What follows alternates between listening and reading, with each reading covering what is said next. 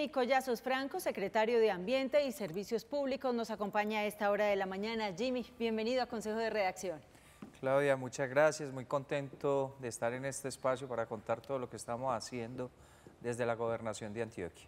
Bueno, hemos mencionado en el transcurso de las emisiones del sistema informativo cómo día tras día nos vamos convirtiendo en familias multiespecies. Convivimos más cerca todos los días con los animalitos, con perros, con gatos y estamos hablando precisamente a esta hora de la mañana sobre esta jornada o esta semana animalista. ¿En qué consiste?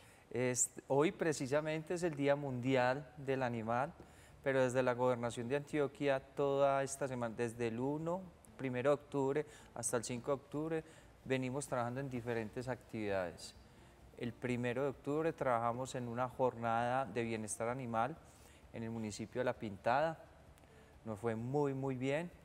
Antier eh, tuvimos la oportunidad de llevar niños del hospital mental al Parque de la Conservación, a estar en ese ecosistema, a darles información realmente de un cuidado diferente. El antiguo zoológico, que muchas personas todavía no conocen ese cambio que hubo ahí. Que es un cambio que a término personal me, encanta. Me encanta porque allá se recibe animales que, se, que necesitan el cuidado. No se están recibiendo animales por motivos económicos, nada de eso. Es un tema de protección animal. También estamos ya en las jornadas de esterilización que es un tema muy importante en la tenencia responsable de los animales.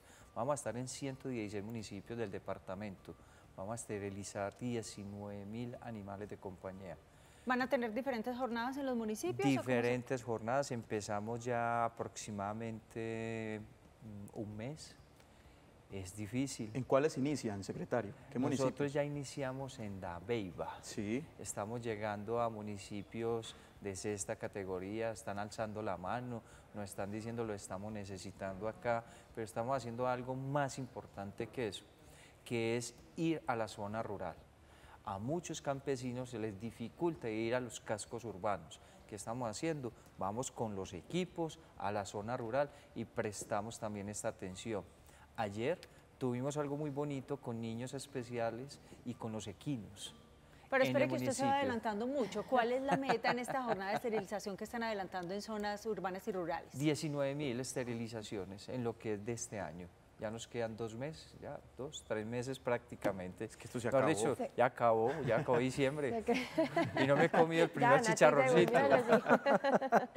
Secretario, venga, es muy importante ese tema de la esterilización de los animalitos. A mí particularmente pues me toca mucho este tema y me gusta muchísimo generar esa conciencia que no es simplemente esterilizarlos para que no tengan crías y ya, sino que esto ayuda mucho a que dejemos de ver tantos gaticos en situaciones de calle, perros también en situación de calle y mm, en un caso, por ejemplo, de una gata, cuando tiene un parto son 9, 10 animalitos. Entonces es muy importante generarle la conciencia a estos tenedores de animales que no es solo darles comida y agua, sino procurar porque estén en las mejores condiciones y que en lo posible estén esterilizados, precisamente también para que a ellos quizás los animalitos no se les vayan a perder tratando de buscar eh, parejas cuando están en celo y en calor. Explíquenos un poco el por qué y esa necesidad de que las personas entendamos por qué esos animales de compañía deben estar esterilizados. Para, para nosotros es un tema de tenencia responsable de estos animales. No podemos tener, como dices, de un gatico, una gatica que de pronto se sale de la casa, se sale de, de, la finca, bueno, en fin, y fácilmente pues puede quedar en embarazo y tener nueve, diez cachorritos que lo que vemos nosotros en medios o lo que nos pasa en los albergues que también acompañamos es que van y los dejan allá. Mire, secretario, dice una cosa muy importante y es porque yo tengo gatos adoptados, tengo 12, todos son adoptados. 12. Y los he encontrado en costales, están cogiendo esa costumbre, sobre todo en eh, municipios muy apartados o de quinta, sexta categoría, como usted lo menciona, donde es importante hacer estas jornadas de esterilización, pero esas prácticas inhumanas donde meten los cachorritos y los animalitos en costales o los tiran a quebradas, eso, eso no se hace, eso hay que generar conciencia de que no es la forma de, tratar este problema de tanta proliferación de crías. Es un tema de conciencia y un tema de coherencia. Decimos que los amamos, que los respetamos, que los queremos y sin embargo hacemos unas acciones que van en contra de todo lo que profesamos. Es muy irónico, ¿no? Eh, el ser humano es muy irónico, que, pero la meta de nosotros desde la gobernación es el cuidado, el cuidado responsable de todos ellos. Dentro de ese cuidado es muy válido hablar de lo que usted mencionaba y es hasta dónde va la palabra amor y cariño por las mascotas, porque vemos que en muchos casos llevamos las mascotas a plataformas donde están muy calientes, las llevamos a conciertos, están expuestas a altísimos ruidos, están expuestas a un centro comercial donde cada vez tienen mayor apertura, pero en muchos de estos casos no son los espacios adecuados para el bienestar de las mascotas. Y lo vemos muy seguido, la verdad sí. Eh, he tenido la oportunidad de estar en espacios que realmente son espacios donde ellos no deben estar. Y muchas veces, les voy a contar una historia pequeñita. Yo llevo 20 años de docente universitario en la institución universitaria en Vigado, donde soy egresado de dos carreras. Y yo recuerdo como si fuera ayer un estudiante que lleva a clase una iguana encima de, de su cuello para estar en clase. Yo sí creo que todos los animales tienen que tener sus ecosistemas, sus sitios y no podemos abusar de ellos y hay personas que se pasan. son domésticos, Total, y eso se pasa, se a hablar de lo que pasa con los mini pigs, por ejemplo, secretario. Hemos encontrado incluso mini pigs en situación de calle, ya como perros y gatos en las calles buscando la comida, porque con los mini pigs creen, son animales exóticos de tenencias permitidas, pero creen que se van a quedar pequeñitos, así como los ven recién nacidos, y un mini pig puede crecer hasta pesar 100 kilos y sigue siendo mini pig. Entonces, lo que hacen es desecharlos, ya no me gusta, ya no me sirve, ya entonces le abren la puerta de la casa para que se vaya y no vuelva. Y, esto, pues aparte de generar un problema también sanitario y de salubridad, es, generar esa conciencia también sobre este tipo de animales. Cata, y al secretario, también pasa, por ejemplo, en febrero, pasa la época de Navidad, muchos niños dicen yo quiero tener un perrito, un gatico de mascota, y pasa la fiebre y ya febrero, marzo, cuando empieza a sentirse el rigor de la responsabilidad, los abandona. O los papás no se dan cuenta que sus hijos son alérgicos entonces dicen, no, es que el gatico ya no puede estar en la casa, mi hijo es alérgico, y ya comienzan a buscar todos estos albergues. Desafortunadamente hay unos que los dejan en la calle, que no debe ser así. Historias como en ciertos municipios de Antioquia, los animales de compañía salen todo el día a la calle y vuelven a la casa, porque en la casa no tienen forma de darle alimento el perrito se va, recorre el pueblo, hace muchas cosas y luego regresa a pernotar. Increíble. Y son municipios que uno llega y ve por donde voltea uno la casa, ve perritos y ve perritos y es por eso. Y se vuelve algo cultural que no debe ser así. Hay que tenerlos bien. Secretario, dentro de esta jornada de bienestar animal también van a tener algunos diplomados. Nosotros empezamos un diplomado en compañía de la Universidad del CES.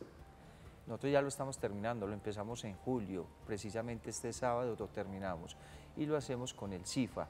El CIFA es el Comité Interinstitucional de Fauna y Flora del Departamento de Antioquia, donde hacen parte la Fiscalía, la Policía, las corporaciones, Cornare, Corantioquia, Corporaba, bueno, en fin, porque también muchas veces los actores no conocen bien el tema de la ley estamos reglamentados. Lo que tenemos que hacer es hacer respetar la ley para que estos animales de compañía realmente tengan mejor vividero.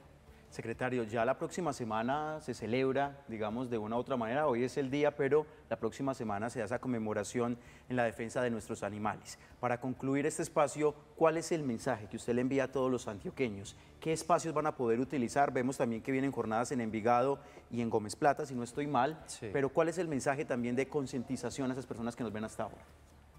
El mensaje que queremos enviar desde la gobernación de Antioquia es amar y querer bajo el respeto y la conciencia de estos seres. Ellos hacen parte también de nuestros núcleos familiares y los tenemos que proteger y respetar como se debe, de una forma responsable. Muy bien, Jimmy eh, Franco, que nos acompaña a esta hora aquí en Consejo de Redacción, secretario de Medio Ambiente y Servicios Públicos del Departamento de Antioquia. Bienvenido siempre. Sebastián, muchas gracias. También tenemos noticias de acueducto de alcantarillados. De una vez, venga, aprovechemos. La semana pasada firmamos ya convenios con ANSA, Heliconia y Briceño, a construir acueductos alcantarillados en estos municipios que tanto se necesitan. Y también algo histórico, en el Plan Departamental de Aguas, ya municipios del área metropolitana hacen parte del PDA. Ya firmamos con el municipio de Caldas, con el municipio de Envigado, ayer con Girardota y Copacabana. El mensaje es claro, como se los decía yo a ellos, no conozco un municipio que no necesite el apoyo de la gobernación de Antioquia para casar en proyectos de acueducto alcantarillado. Todos lo necesitamos. Ya los del área metropolitana han tomado conciencia y lo que esperamos desde la gobernación es que nos empiecen a enviar proyectos en fase 3 para ver cómo hacemos desde la gobernación con el doctor Andrés Julián a buscar recursos. ¿El tema de las luminarias tiene que ver con usted, la modificación? Sí, señor el tema de las luminarias y hay un proyecto que se viene hermoso, que ha sido muy difícil, que es un proyecto de panelería solar. Vamos a llegar a instalar paneles solares a la zona rural, donde no hay forma de llegar con electricidad. Creo que los campesinos de Antioquia que quedan a cinco horas, cuatro horas del casco urbano, deben tener energía. Es una meta que nos estamos que nos pusimos dentro del plan de desarrollo, 1024 soluciones fotovoltaicas, para que ellos también tengan su televisor, su nevera, tengan condiciones dignas de vida. Mejor dicho, llega la energía a los lugares más remotos, secretario. Gracias por estar con nosotros. A ustedes por invitarme, muchas gracias.